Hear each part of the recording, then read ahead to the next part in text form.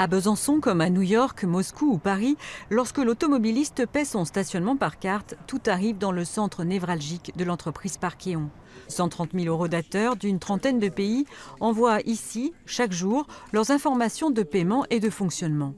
Bientôt, celle de la société suédoise Calais devrait être aussi traitée ici à Besançon. Parkeon, le numéro 1 du secteur, est en train d'acquérir le numéro 2 suédois. Personne gagne, personne perd. C'est on assemble nos forces et on unit nos forces pour avoir un groupe plus fort face au reste du marché et aux défis euh, futurs, en fait, euh, par rapport à l'arrivée du digital de façon massive dans ce qu'on appelle les smart cities. Les smart cities, ce sont les villes où transport, stationnement, services sont connectés. Parkeon l'industriel devient aussi une société de services. Cette alliance doit renforcer la recherche et le développement. C'est très positif pour la société. On va avoir euh, plus de produits à fabriquer, donc euh, c'est pas une mauvaise nouvelle au niveau de l'emploi. Tant mieux, on aura du boulot pendant longtemps.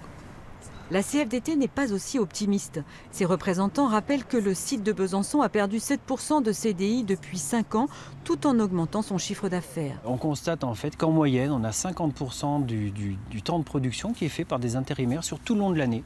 Et puis on a par exemple actuellement une centaine de sous-traitants sur le site et on a aussi de manière quasi systématique l'externalisation, majoritairement en Pologne, de développement logiciel au bureau d'études. L'acquisition de Calais va renforcer la place de numéro 1 mondial de Parkeon. Une situation de quasi-monopole pour les appareils haut de gamme. Fini la guerre des prix pour remporter les marchés auprès des villes qui rêvent d'être ultra connectées.